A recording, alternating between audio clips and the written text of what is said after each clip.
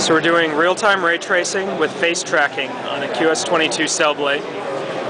Here you can see it's, it's tracking my face and adjusting the position of the virtual camera with the information derived from trying to track my face.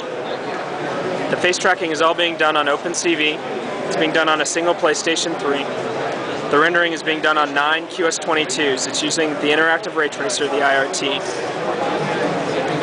Each piece of this screen is divided up into horizontal regions and dispatched to each one of the blades. The blade renders that region. It uses one of its SPs to do a JPEG type image compression, sends that image back over gigabit ethernet to another PS3, which then displays this, the, the results on the screen. The face tracking is the only input that we're using into the renderer. You can see it gives you a pseudo 3D effect.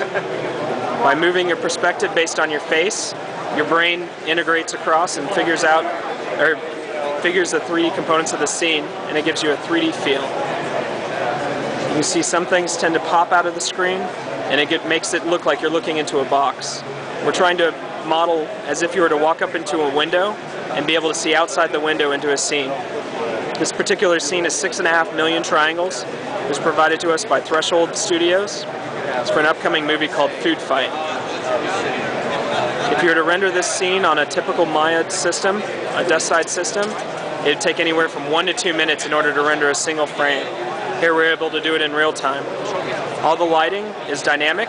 As you can see, all the shadows are being moved. There's no lighting that is baked into textures.